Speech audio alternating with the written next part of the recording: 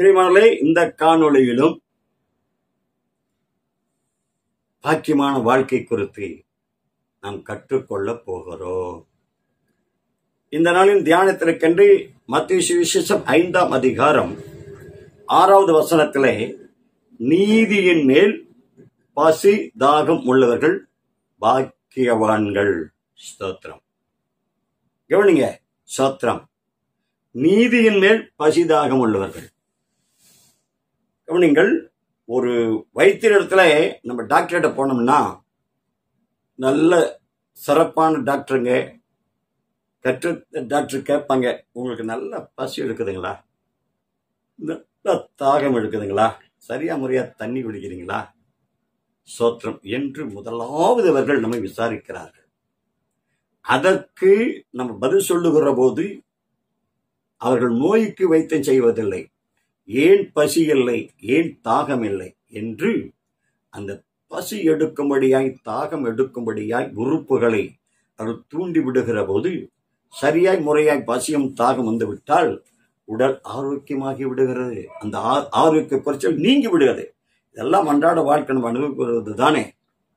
அப்ப இந்த சரீரம் ஆரோக்கியமாக இருக்க வேண்டும் என்றால் சரீரத்துக்கான பசியும் தாகமும் மிக மிக மிக அவசியம். அப்போ நம்ம உடல் ஆரோக்கியம் குன்றுகிறது என்று சொன்னால் எது எது- எது குன்றுது? அந்த பசியும் தாகமும் குன்றும் போதே குறையும் போதே ஆட்டோமேட்டிக்கா நம்முடைய சரீர ஆரோக்கியம் குறைந்து விடுகிறது. ஆனால் பசியும் தாகமும் சரியாய் முறையாய் இருக்கின்ற போது சரீர ஆரோக்கியம் குறையாது. அப்ப டாக்டர்ல சரியான முறையான டாக்டர்கள் அதைத்தான் கேட்கின்றார்கள் அல்லவா? அதே போல இங்க கவனிங்கள் அப்போ ஒரு ஆவிக்குரிய தேவனுடைய பிள்ளை பரிசுத்தவான் ஆவிக்குரியவன் சோத நீதிமான் இப்படி அழைக்கப்படுகிற அவனுக்கும் என்ன வேண்டும்? பசியின் தாகம். எது மேல? நீதியின் மேல் பசிதாகம் அப்ப இந்த உடலுக்கு உரிய பசிதாகம் உயிருக்கு உரிய பசிதாகம் அப்ப இந்த பூலோகத்துல வாழ்வதற்கு ஒரு சோத்திரம் சரியான எனர்ஜியா எனர்ஜியா சோத்திரம் ஆரோக்கியமா இருக்கணும்னா கட்டாயம் இந்த சரீரத்துக்கு பசியும் தாங்கி இருந்தே ஆகணும். அதே போல ஆவிக்குரிய வாழ்க்கையிலே பாரமற்ற ஒரு பாக்கியமான வாழ்க்கை வாழ வேண்டும் என்றால் அன்பானவர்களே நமக்கு என்ன வேண்டுமா? நீதியின் மீது பசிதாகம் எதன் மீது? நீதியின் மீது. அப்போ நீதி என்பது என்ன? மனிதன் தனக்கு ஏற்றபடி தன் மனதுக்கு ஏற்றபடி சோத்திரம் சுய நீதியை உடையவனாக இருக்கிறான். புரிந்து கொள்ளுங்கள். சுய நீதி உடையவனாக மனிதன் இருக்கிறான். அப்படிதான் பிறந்தான் வாழ்றான் வளர்றான். என்ன நீதி? சுய நீதி. சரி. தேவ நீதி என்பதை குறித்து நான் கொஞ்சம் கவனிக்கின்ற போது இயேசு கிறிஸ்துவனிடத்திலே ஸ்தோத்திரம் ஏ- யோவானிடத்திலே இயேசு செல்லுகிறார். எதுக்கு? ஞானஸ்தானம் எடுத்துக்கொள்வதற்கு பெற்றுக்கொள்வதற்கு. அப்பொழுது யோவன் முறையாய் தடை செய்கிறான். இல்லாண்டவரே நான் தான் உங்ககிட்ட ஞானம் சொல்றேன் நீங்க எப்படி என்கிட்ட ஞானம் சொல்லலாம் என்று அவன் ஒரு நீதியாய் பேசுகிறான். கவனிங்கள் அப்பொழுது ஆண்டவர் அழகாய் தெளிவாய் போதித்தார். இப்பொழுது இடம் கொடு. இப்படி எல்லா நீதியும் நிறைவேற்றுவது நமக்கு ஏற்றதாக இருக்கிறது என்று ஆண்டவர் யோவானுக்கு ஒரு போதனையை கொடுத்தார். அதை கொஞ்சம் கவனம் கவனிங்கள் அப்போ அந்த திருமுழுக்கு ஞானஸ்தானம் எடுத்துக்கொள்வதன் மூலமாக நம்ம எதை நிறைவேற்றுகிறோமாம் நீதியை நிறைவேற்றுகிறோமாம் அப்போ அதுல என்ன நீதி ஞானஸ்தானம் எடுத்துக்கிற போறோம். ஏதோ ஒரு பாஸ்ட்டு வராரு ரெண்டு கேள்வி கேட்குறாரு வேமான்னு சொன்னால் பிடிச்சி அமைக்கிறாரு தூக்கிறாரு தானே ஞானஸ்தானம் அதுக்கு சபையில் ஒரு கட்டுப்பாடு ஒழுங்கு தானே. இதில் என்னையா நீதி நிறைவேறுது? என்று நம்ம ஆராய்கிறோம் அல்லவா? கவனிங்க. சுயநீதி மனித நீதி என்பது தவறு செய்தவன் தண்டிக்கப்பட வேண்டும். இது மனித நீதி. சரி. தேவ நீதி என்பது என்ன? மனிதன் செய்த தவறுக்காக தேவகுமாரன் பலியாகிறார். மனிதன் செய்த தவறுக்காக மனிதன் தான் தன்னை பலி கொடுத்து செலுத்த வேண்டும். அதுதான் மனித நீதி. ஆனால் தேவ நீதி என்ன? பாவியை நேசிக்கிற தேவன் பாவத்தை வெறுக்கிற தேவன் பாவியாகி நம்மை இயேசு நேசிக்கிறதால் நம் மீது இருக்கிற பாவத்துக்கு பரிகாரமாய் கத்த தன்னை ஒப்பு கொடுத்தார் அதுதான் சிலுவையிலே நடந்தது. அதை அதைத்தான் உணர்கிறோம் ஒப்புக்கொள்கிறோம் திருமுழுக்கு பெறுகிறோம். அப்ப அந்த திருமுழுக்கின் மூலமாய் கவனிங்கள் சோத்திரம். எனக்கு வரவேண்டிய தண்டனை என் இயேசுவுக்கு வந்துவிட்டது. இயேசுவுக்கு கிடைக்க வேண்டிய சோத்திரம் மகா மகத்துவமான ஆரோக்கியம் பரலோகம் எனக்கு கிடைத்து விட்டது நியாயமாக பாவத்தின் சம்பளம் மரணம்.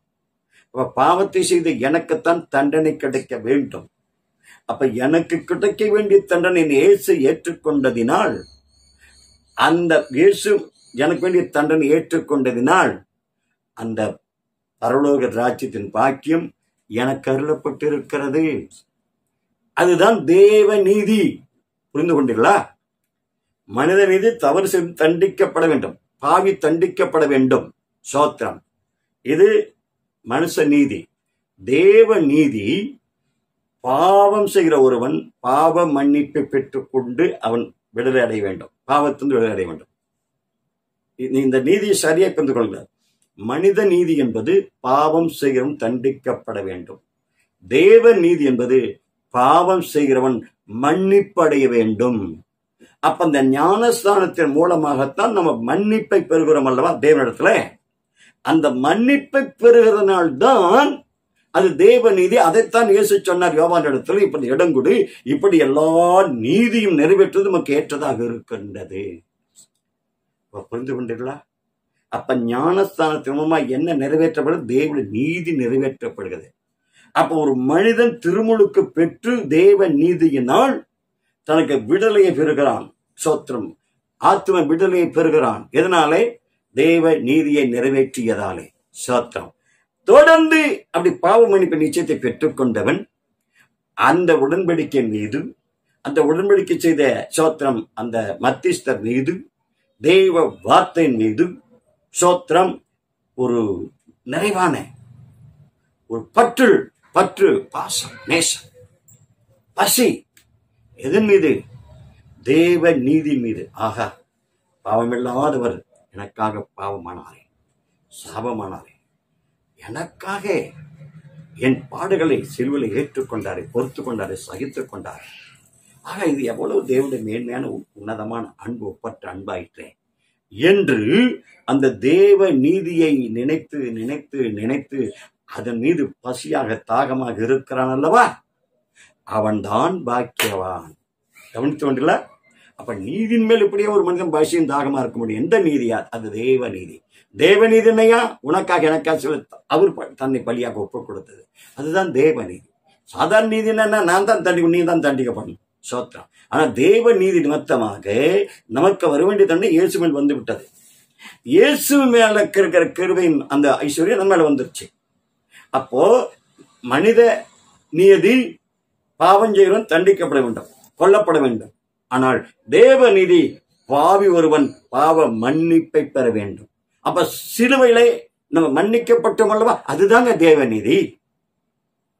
அப்போ சிலுவை இயேசு மறித்து அதை நான் ஏற்றுக்கொள்ளாமல் இருந்தேனானால் எனக்கு மன்னிப்பு கிடையாது. ஆகவே எனக்கு மன்னிப்பு மன்னிக்கப்பட்ட எதனால? நான் உணர்ந்து ஐயோ பாவமறியாதவர் எனக்காக சொல்ல பாவமானாரே என்று அறிந்து உணர்ந்து ஏற்றுக்கொண்டு இந்த திருமுலைக்கு சரியை முறை உணர்வோடு நான் பெற்றுக்கொண்டதினாலே சோத்திரம். நான் தேவ நீதினால் தான் பிழைத்தேன் பிழைத்திருக்கிறேன். இப்ப புரிந்து கொண்டீங்களா நீதிமில் பசிதாகம் உள்ளவன் பாக்கியவான் என்று ஏன் தேவ வசனம் தேவனுடைய வார்த்தை இவ்வளவு அழகாய் துணிமாய் சொல்லி இருக்கிறது என்று அப்போ அப்படி உனக்காக எனக்காக தேவ நீதினால் தன்னை அர்ப்பணித்து ஒப்பு கொடுத்து நமக்கு பாவம் மன்னிப்பு நிச்சயத்தை பெற்- பெற்றிருக்கிற நீங்களும் நானும் அந்த இயேசுவின் இடைவிடாது சோத்திரம் நம்முடைய உள்ளு உணர்வோடு கூட அவர் மீது இயேசுவின் மீது இயேசுவின் தூய தேவன் மீது நம்ம பசியும் தாகமும் இல்லை என்றால் ஆவிக்குரிய விதத்திலே நம்ம மந்தமாகி விடுவோம். அப்ப சரீரத்துக்குள்ளே பசி தாகம் இல்லை என்றால் சரீரம் ஆரோக்கிய குண்டி குறைந்து சோத்தம் அவருக்கு குண்டு விடுவது போல அந்த நீதி மீது சோத்தம் அந்த சிலுவையின் அன்பின் மீது நமக்கு ஒரு பசி இல்லாவிட்டால் தாகம் இல்லாவிட்டால். அப்போ இந்த சரீர ஆரோக்கியம் குன்றுவது போல மன ஆரோக்கியம் குன்றிவிடும். ஆகவேதான் வேதம் சொல்றது நீதியின் மேல் பசி தாகம் உள்ளவர்கள் பாக்கியவான்கள். ஸ்தோத்திரம். ஆகவே இயேசுவின் நாமத்தினாலே இந்த சத்தியத்தை அறிந்து உணர்ந்து கொண்ட நீங்கள் ஒவ்வொருவரும் தொடர்ந்து நீதி மீது பசிதாகமுடைய பாக்கியவன்களாக வாழ்வீர்களாக. அமை என்ன பிரியமானவர்களே தெய்வ ஆலோசனையை கேட்டீர்களா? மெய்யாகவே மிகவும் பிரயோஜனமாக இருக்கிறதல்லவா? ஆகவே மற்றவர்களுக்கும் பிரயோஜனமாக இருக்கும்படி இந்த வீடியோவை லைக் பண்ணுங்க ஷேர் பண்ணுங்க நம்ம சேனலை சப்ஸ்கிரைப் பண்ணுங்க. கர்த்தர் தாமே தங்களை ஆசிர்வதிப்பாராக. ஆமாம்